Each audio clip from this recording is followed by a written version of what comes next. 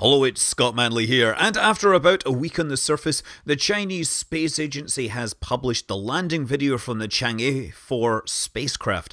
And actually, it's pretty marvelous, and I wanted to talk through it because people have been posting this around, and there's a, a number of cool things about it. But uh, I, I, took the video that I, the best video I could find. Now, the original video is recorded at 10 frames per second. Uh, I managed to find a 1080p quality version of it, although it is a square video. But I also then applied something called Butterflow. So what that does is it performs frame interpolation. So I've smoothed the video out to make it a little clearer and a little cooler. Anyway, to provide some context, this is a map of the far side of the moon. It's an orthographic projection, which means, of course, we get some uh, angle issues here, but the space probe is moving south across the moon. So you got to understand that some of these things are uh, reversed, but it is currently flying over this area here. This is the von Karman crater, and if I zoom in, you can actually see that at the top and the, the left, there is this white area. That is the depression formed by these two craters. And uh, around the middle, there's two smaller craters that are moving.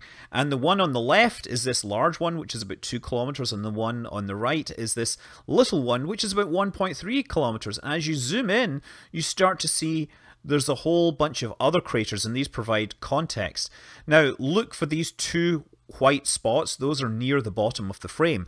The spacecraft at this time is decelerating rapidly. The spacecraft is basically flying over in an orbit and then it very, very quickly slows from essentially orbital velocity to a hover. That's what it's doing right now. It's firing its uh, engine and it's going to perform active hazard avoidance maneuvers on the way down.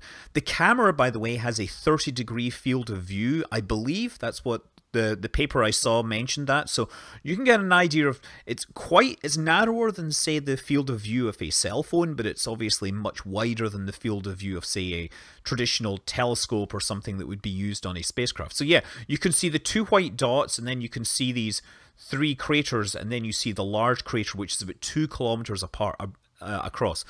And this is kind of important because, of course, nobody knows what these features are. It's very hard to figure out the sizes. Now, you see that the uh, at the bottom of the screen it's telling us that it is adjusting.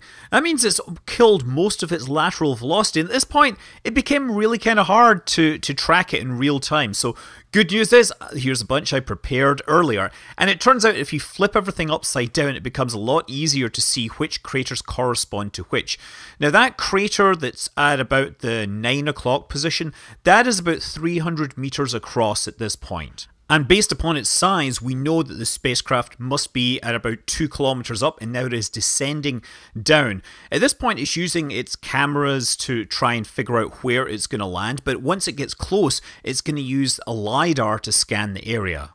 By this point, it's actually reached an altitude where it can see the place that it's going to land, although it probably hadn't figured out where it was going to land.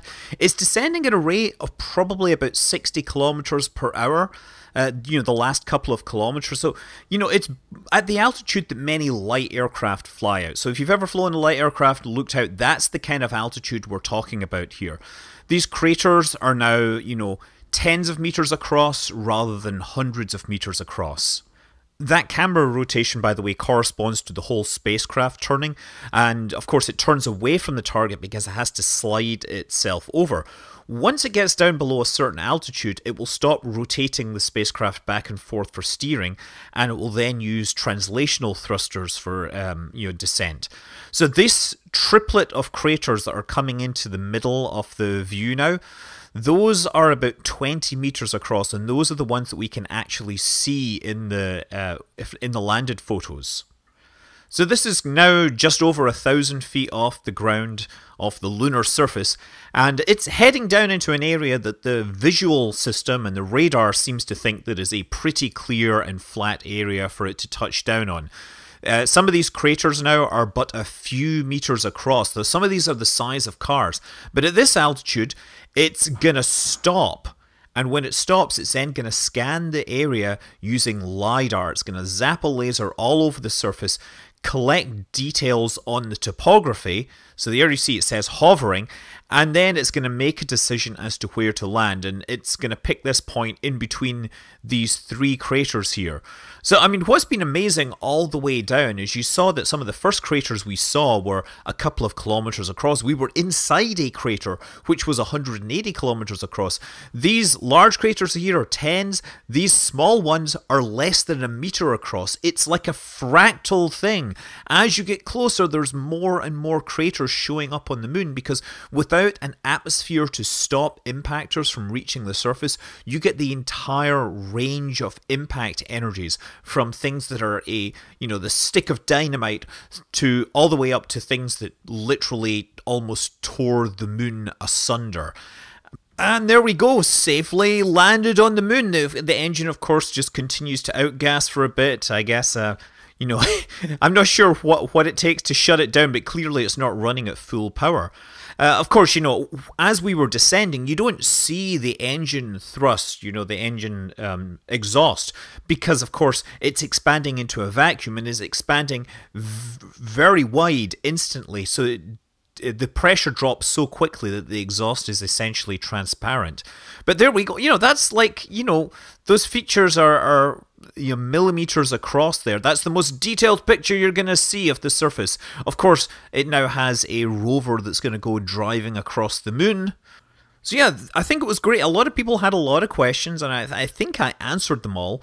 And obviously now the rover's going to go around. Actually, the rover has been doing a lot of sitting still because uh, it was local day, like midday, and that at that point it's got a lot of thermal issues. So it was going to wait until the sun gets lower on the horizon, apparently, before it starts really doing its stuff. I'm Scott Manley. Fly safe.